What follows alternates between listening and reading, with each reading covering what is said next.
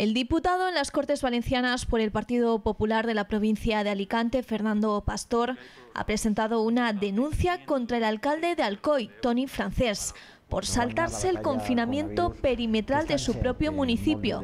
Un alcalde tampoc pot incomplir la mateixa i fer una infracció administrativa que no és ni més ni menys el que ha fet incomplint el decret de confinament o el decret de tancament perimetral de la ciutat d'Alcoi. I eixe i no altre perquè l'alcalde està igual d'obligat que la resta dels alcoians, eixe és el motiu perquè el Partit Popular ha presentat una denúncia en l'òrgan autonòmic que és qui té la responsabilitat de decidir sobre l'acció que ha fet o que ha comès l'alcalde d'Alcoi. Desde el PP provincial no entienden que un alcalde, que debería ser quien da ejemplo, se salte las restricciones de la Generalitat por las que se están multando a otras personas.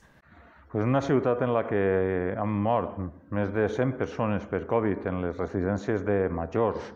en una ciutat eh, que està liderant eh, datos de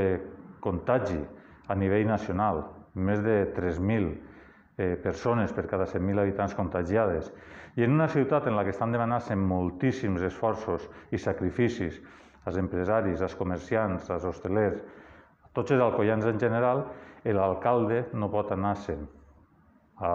una caseta de camp des del punt de vista polític i des del punt de vista del compliment de la norma Pastor ha registrado la denuncia administrativa ante la Secretaría Autonómica de Seguridad y Emergencias, que es el órgano autonómico competente para aplicar las sanciones previstas.